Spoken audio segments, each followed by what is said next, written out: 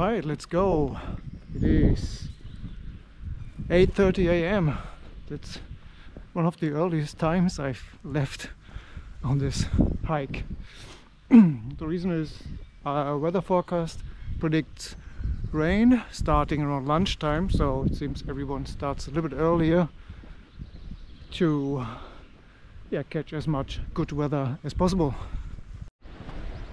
I had a very good night very comfortable campsite soft grass weather was good slept very well. However I'm, I'm a bit sad because I came here I wanted to say goodbye to some people I met on the trail and I hope to see them here because I will not finish in Fort William today I will finish a bit earlier at the campsite so uh, I hope maybe I see them on the trail today. But yesterday yeah the, they were not at that campsite. There's the second one here. Maybe they stayed there. However I meet uh, I met other people at that campsite. You always meet people.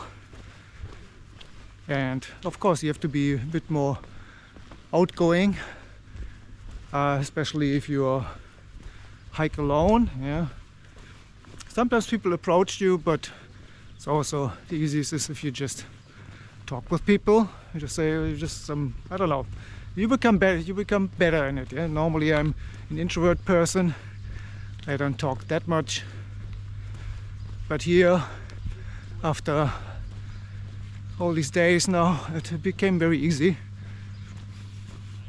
Because you always have a topic to talk about. It's just you have the same you do the same thing. You do this hike, so you talk about uh, how are the feet, how's oh your backpack is so big, or your backpack is so small, or where are you going, blah, where are you from, all these things.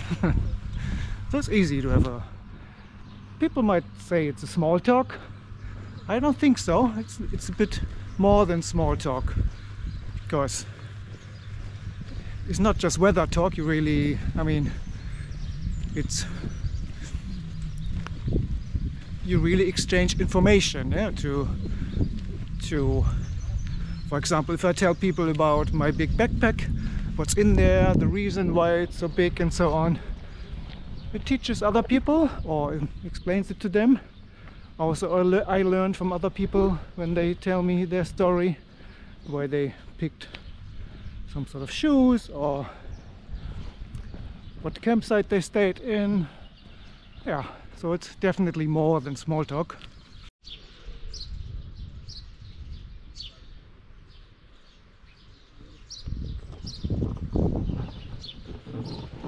Cool. it's funny.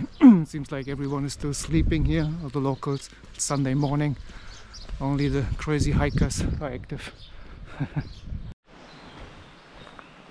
being honest uh, if I had known that I can't see the people that I uh, wanted to see at the campsite I would have chosen a wild camping site because it was really my my thinking was yeah last night let's have a last camping evening together.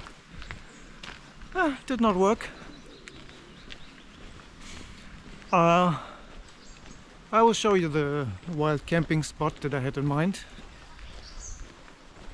It's a little bit after Kinlochleven, like around five kilometers.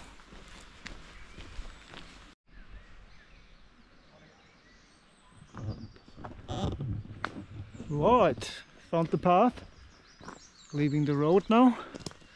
Quite busy this morning. Of course now it mixes again with all the not campers all the people who stay in the lodges and so on with light luggage. They always start a bit early, I would say, campers. Well, let's say I usually start later, so now that I start early, I see that it's very busy that early morning. So interestingly, right after leaving the main road, you see this area here, and on my map, this is marked as an wild camping place. It really looks like it, huh? But you know, there are houses right there and street right there. So it's just in the middle of the village. Uh, I don't know if that's really allowed, but someone had fire here. So immediately after leaving Kinlochleven it goes uphill. Not that bad. It's not a devil's staircase here. It's also not a devil's gravel road. Yeah, but good to start in a t-shirt because everyone walks up here and then they stop and have to repack get take off their jacket because they get too warm in the jackets so always take off jacket before you go uphill because you will get warm.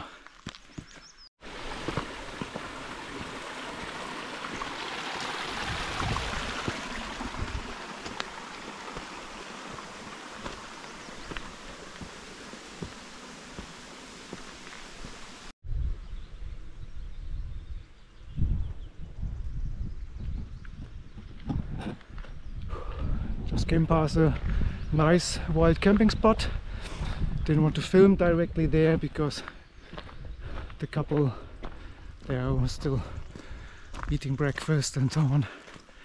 Ah, quite nice. It's right at the end of that well first climb out of Kinlochleven when you leave the forest and come to a little opening the first time. I see another red tent there in the bushes. Oh, actually, it's a little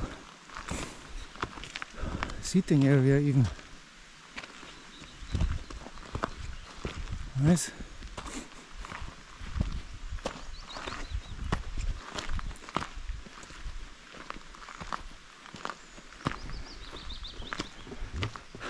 It was two minutes after the first spot.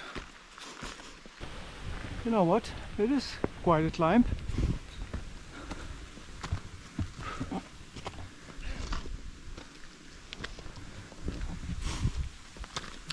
Saying it's yeah, 45 minutes since I left campsite, so maybe I'm half an hour into this climb.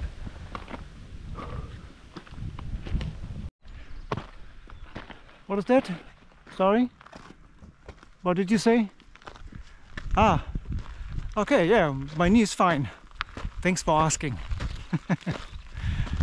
no, it's just a downhill problem and it's not an injury, I just know after a longer stretch of downhill gravel my right knee starts to hurt but if I stop or basically just one minute later if I stop or the next day oh, take care. There's nothing. So feeling strong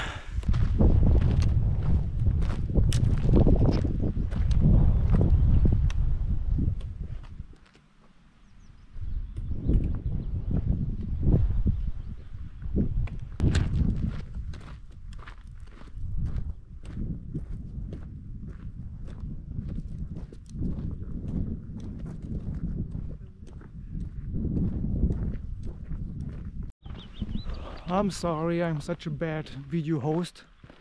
I haven't told you yet today's destination. So it's going to be Fort William, but two kilometers before Fort William. There's a campsite uh, in a valley called Glen Nevis, right under the mountain Ben Nevis. So it's 26 kilometers I believe from Kinloch to Fort William. And for me it will be around 24 kilometers. And yeah. We'll camp there one night. Tomorrow climb uh, the idea is to climb or hike up to Ben Nevis and then tomorrow evening finish in Fort William. Yeah, that's the plan. Funny, I just met a French couple who I have last seen on day one. so they kind of had similar itinerary than me, but we just didn't see each other again. Can happen. People have different speeds, different starting times, stay at different accommodations. So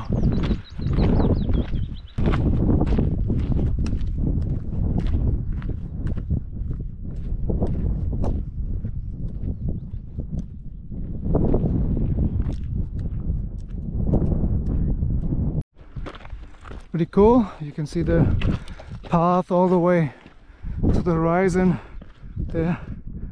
I can see my future.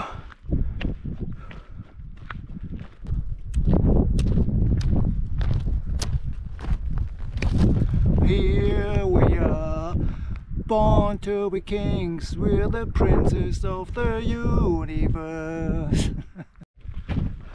Oops, I did it again. I sang for you, although I promised to never sing again. I'm sorry. Yeah, but this song from Queen, from the movie Highlander, is stuck in my head this morning. That's why I had to share it with the world. and for copyright reasons, I can obviously not play that song for you, so I had to sing it. I think it was pretty close to the original, wasn't it? Yeah. Please, some applause in the comments below. Thank you. Highlander, yeah, I love that movie. I watched it so many times. Christopher Lambert, Sean Connery, and the Highlander. His deep blue eyes staring at you, staring at your soul. Great movie. I will definitely watch it again back home. First thing, Highlander.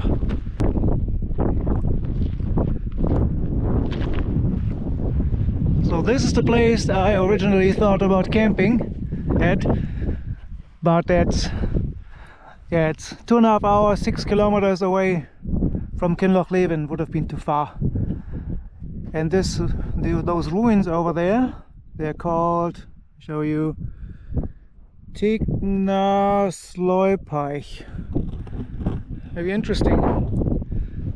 There's an interesting uh, story about it. I found in a Facebook group.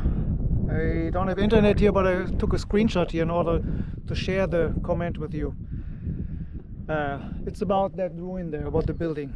So it's from Janet I hiked the West Highland Way in 2018. Here are my notes to go along with this photo. I cannot show you the photo, I'm sorry. At one point we came across some ruins and a guy was walking out of the ruins at the same time. He asked me if I wanted to know about the house. Well, yes I do. He told me he lived there in the 70s and kept watch over the sheep for the landowner. He described what the layout of the interior of the house was like. He said the government eventually took ownership of the land but told him he could stay there for five pounds a year, equivalent to about $7.50. He said he never paid it and they never asked him to leave. He was gonna live wild and free. Basically, I met my first Scottish hippie. I like that story.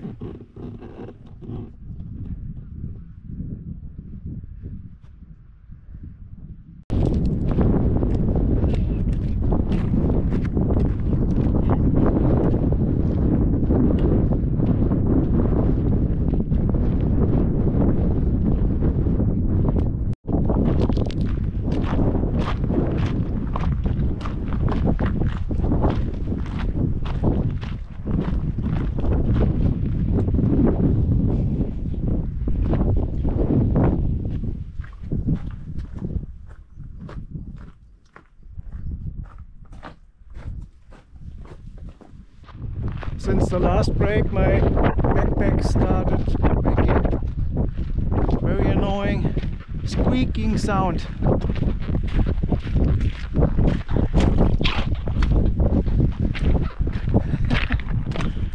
oh boy, maybe it's time for that backpack to retire, I don't know. There's only one thing we can do against squeaking sounds. Here we are, born to be kings, we're the princes of the universe. Yeah, I don't know the lyrics. it's lunchtime, 12. No rain so far, very pleasant bit of a cold wind so if you stop for longer you have to put on a jacket other than that very good hiking weather. Of course yesterday was nice with the blue sky and the sunshine but it was also much harder more sweating and yeah sun was just burning on the skin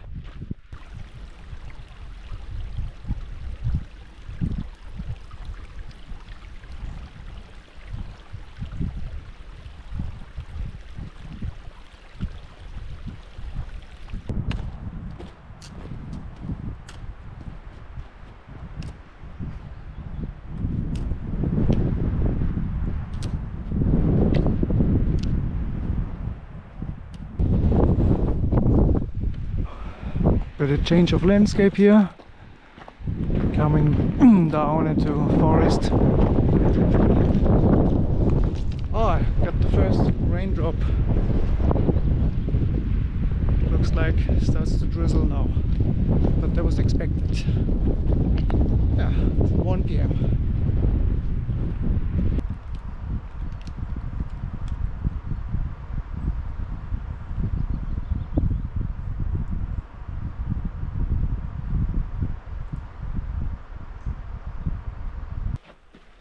little break there under the trees.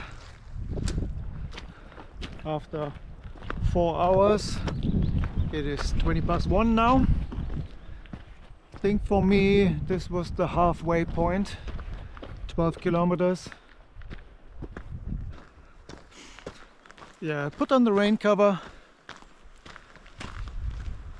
I hardly feel the drops but for sure it will start somewhere this afternoon. I checked the weather forecast again, so it's quite sure. So better have the rain cover on and then I don't have to stop when it really starts drizzling. I will not put on rain jacket unless it really rains. Yeah. Drizzling I don't mind. Okay, a little bit uphill again here. I can tell I get closer to civilization because I met a couple of uh, local Scottish day hikers. So it's Sunday. They go out for a hike, enjoying the outdoors.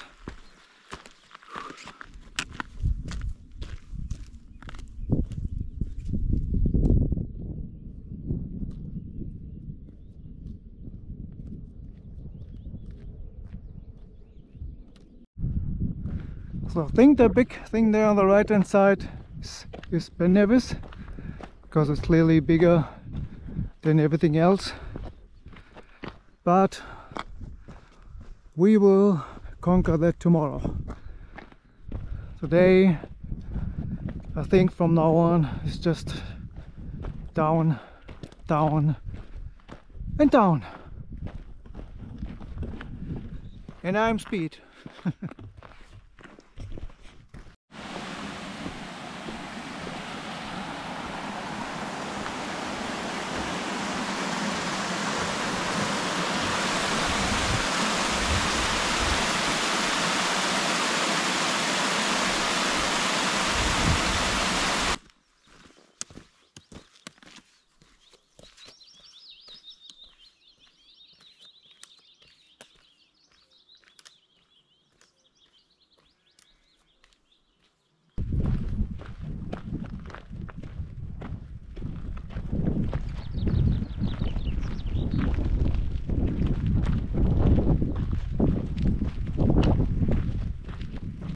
I wanted it, I got it.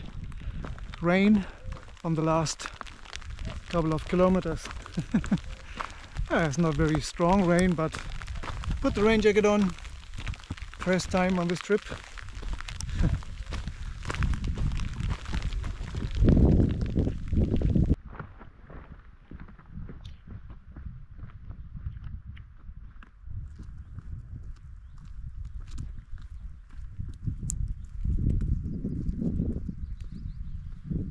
That was a classic five minutes rain. the moment I leave the rain jacket on, there's ventilation, so it's not that bad. But yeah, the other solutions, again, like a poncho, it's easier to put on than off for these little showers. Rain jacket, yeah, I have to stop now put down the backpack, jacket off, put into the backpack, backpack on again and continue. Showers coming and going at the moment. I think that was the last climb of the day. The last climb of the West Highland Way. Wow, okay. I will climb that thing tomorrow, so now I can see the dimensions and size of Ben Nevis. Wow, there's literally another small mountain in front of it. Okay, can see a tiny little bit of snow at the top, but I'm sure there's snow on the other side. I think this is should be the southern side. So northern side usually has snow and ice a bit longer in summer. Can already see my destination today? That's the Glen Nevis campsite. And I assume over there in the distance is Fort William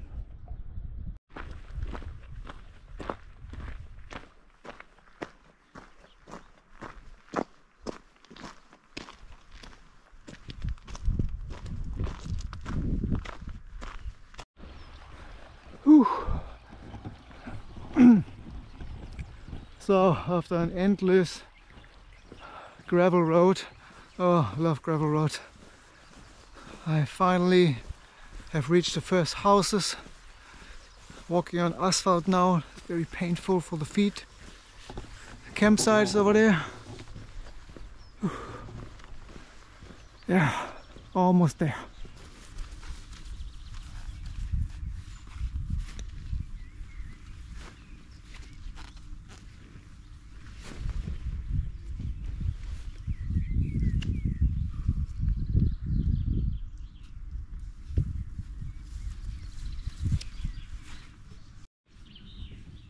All right, tent is set up in the dry, no rain. The hiking shirt is already getting some air. Uh, I haven't I have to prepare for tomorrow's hike because I will not take all my things. Everything will stay in the tent. And I talked with the reception of the campsite that I'm allowed to leave the tent here until tomorrow evening. Then I, when I come back from Ben Nevis, I will pack everything and then walk to Fort William. That's the plan. And now I'm thirsty, I'm hungry. I will go. Um, I'm not cooking today. I'm. I will go and find a restaurant and then, yeah, have a nice evening and relax and get some energy for tomorrow. See ya.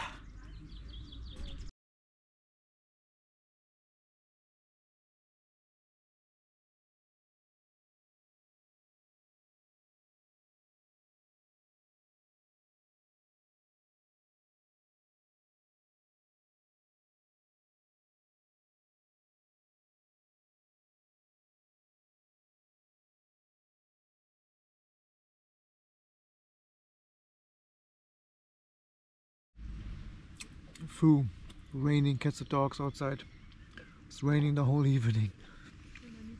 I had a good dinner and pre-packed my backpack. Mm. Now I'm going to rest and tomorrow I hope for good weather for the climb. See you tomorrow.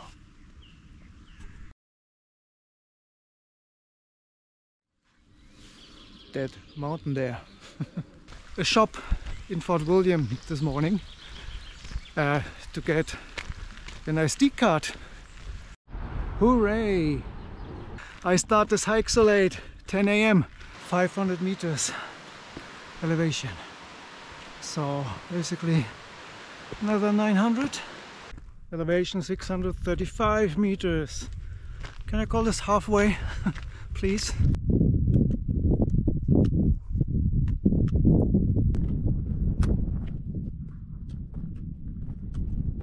Actually, we just crossed 1000 meters. So, above 1000, that's already achievement for today.